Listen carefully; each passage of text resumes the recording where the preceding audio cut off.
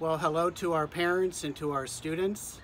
I would like to begin with a prayer that I started with when we had our final faculty staff uh, meeting last week.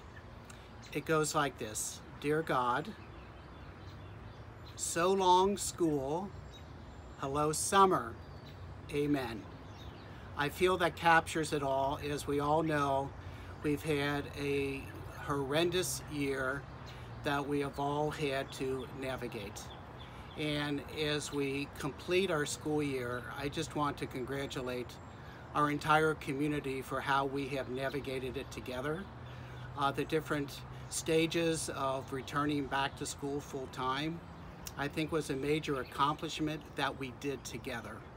And so as we do look to the summer, we all need a break, we all need a rest, so that when we come back next school year, we can be refreshed and ready to begin anew.